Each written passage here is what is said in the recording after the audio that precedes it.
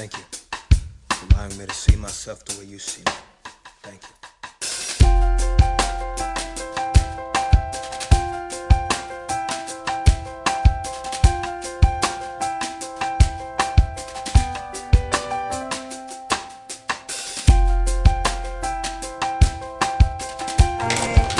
And then uh, I want to tell the inductees, you got about two minutes to respond up here. Thank you, Lewis. Again, we're excited to be here today to honor a great group of young men, or men and women, uh, that, that excelled in their particular sports, uh, representing their university uh, in many ways, on and off the field. We tell our student athletes every day that we're about winning championships in three ways. We win championships here at McNeese in the classroom, on the field, and in life. And I want to tell you that we're still doing that, and the people that we're inducting here today are champions, and we're recognizing their works on the field or court or track that they participate in.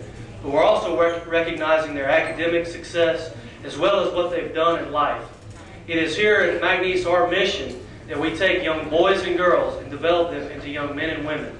And I think that what we have here today is a group of men and women that we're honoring into this 2009. Our next inductee was an outstanding linebacker for the Cowboys from 1990 to 1993 and played on two Southland Conference championship teams and three NCAA playoff teams. Twice he was named to the McNeese Athlete, he was twice named the McNeese Athlete of the Year. Twice he was the football team's MVP and three times outstanding defensive player. He was named to five All-American teams to, in his junior year and senior years. He was twice named Louisiana Player of the Year and twice picked up the Southern Conference Defensive Player of the Year award. A native of Galveston, Texas, he led the Cowboys in tackling three straight seasons with a single season high of 159 in 1993. Following his career, he was drafted in the fourth round by, the, by Arizona and had a five-year career with the Cardinals. He played middle linebacker in Buddy Ryan's 4-6, 46 defense. He, re- he received a degree in engineering technology in 1994 from McNeese and added a master's degree in management from SMU in, in 2009. He is now an engineer for Lockheed Martin in Dallas. Ladies and gentlemen, please welcome Terry Irving.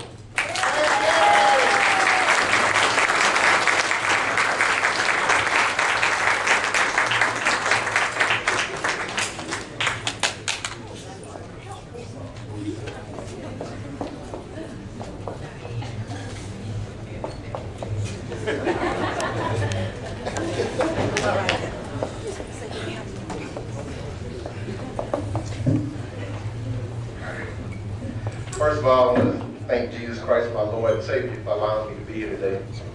I want to thank my my family, uh, my sister Diane, Tarvis right there, my brother-in-law out there, uh, Moses' brother John, uh, uh, his wife uh, Jackie, and I have another brother Glenn, and my sister Karen who couldn't be here today, but they, they, they wanted to be here, and my daughter Terry Rose back there.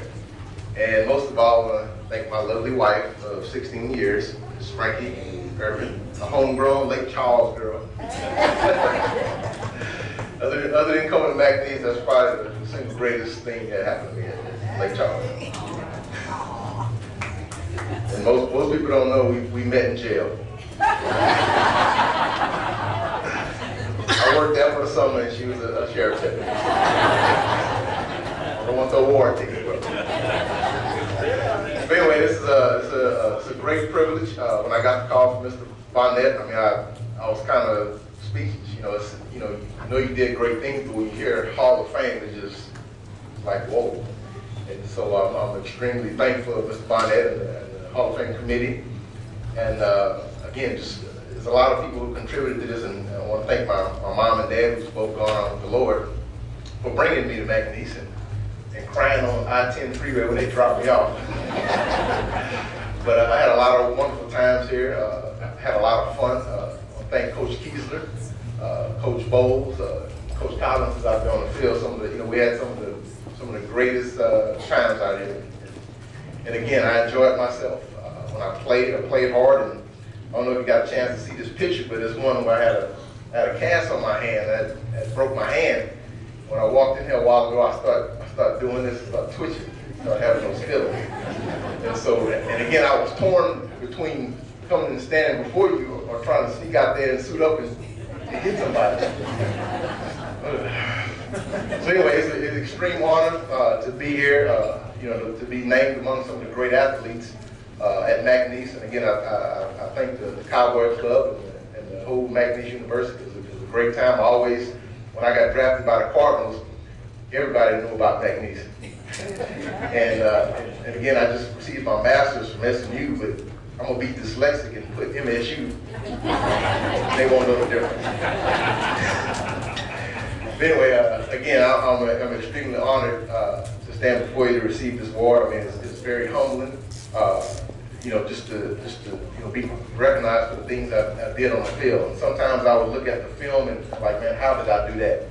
But I think it was it was mainly built upon fun. You know, Coach Keasler, Coach Collins, and those guys they, they allowed us to have fun. And I really I really enjoyed the game of football when I came to McNeese uh, under this coaching staff. So I had a uh, had a great time. Uh, it was a lot of hard work, but again, we had fun. I built a lot of great relationships, a lot of people in Lake Charles. And again, just it's just a good feeling to be back in Cowboy country. There's, there's no other fans like the Cowboys, the Pokes, and uh, I'm extremely honored again. So thank you uh, all for, for allowing me to be here. Thank you for uh, bestowing this honor on me. Thank you.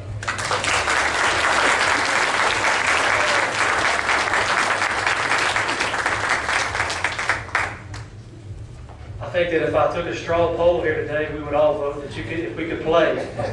I promise you, we're two linebackers short today, and uh, we can work something out. So uh, I shouldn't have told you that. standout linebacker for the Cowboys from 1990 to 1993 and played on two SLC championship teams and in three NCAA playoffs. Twice he was named the McNeese Athlete of the Year. Twice he was the football team's MVP and three times the Outstanding Defensive Player. He was named to five All-American teams in his junior and senior years, was twice named the Louisiana Player of the Year, and twice picked up the Southland Conference Defensive Player of the Year award. A native of Galveston, he led the Cowboys in tackles three straight seasons with a single season high of 159 in 1993.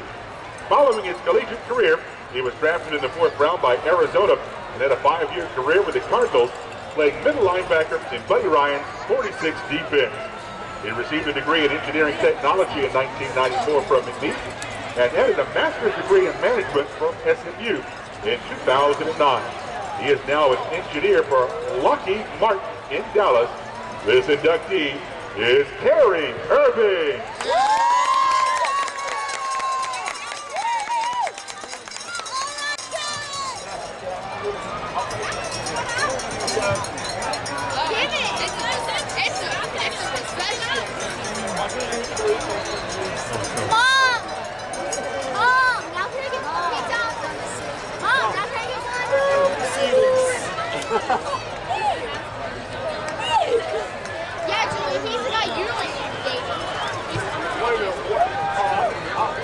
Now, ladies and gentlemen, at this time, the McNeese State Athletic Department would like to take a moment to recognize all the men and women who have proudly served or are currently serving their armed forces.